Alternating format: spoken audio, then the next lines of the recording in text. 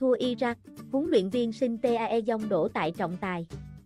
Huấn luyện viên Sinh TAE Dông cho rằng trọng tài đã sai khi công nhận bàn thắng thứ hai vào cuối hiệp 1 của đội tuyển Iraq.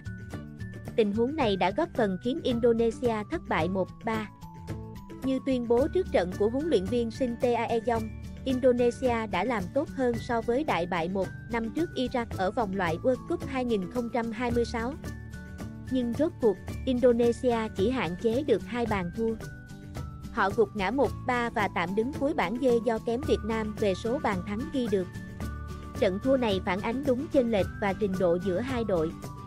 Thực ra, Indonesia cũng có những cơ hội của riêng mình, đặc biệt trước khi nhận bàn thua thì họ cũng đã đưa bóng đi trúng xà ngang đối thủ. Tiếc rằng những khoảng trống ở hàng thủ đã khiến họ liên tiếp thủng lưới. Đặc biệt, trong tình huống bị chọc thủng lưới ở phút bù giờ thứ 7 hiệp 1, thời điểm tỷ số đang là 1-1, huấn luyện viên Sinh Tae Dong cho rằng trọng tài đã sai lầm. Ông cho rằng trước khi thủ môn Hernando ói bóng ra để Rashid ghi bàn thì một cái bóng áo trắng đã việt vị. VAR đã can thiệp trong tình huống này nhưng bàn thắng vẫn được công nhận. Nó khiến huấn luyện viên người Hàn Quốc tức điên. Ông nói sau trận, lý cho chúng tôi thua Iraq là vì họ ghi 3 bàn còn chúng tôi chỉ có một bàn. Iraq cũng là đội kiểm soát tốt hơn và vượt trội về thế trận. Nhưng không thể phủ nhận rằng, bàn thắng thứ hai của họ đã thay đổi kết quả trận đấu. Ở giải đấu lần này, rất nhiều công nghệ mới được áp dụng nhưng quyết định cuối cùng vẫn thuộc về trọng tài.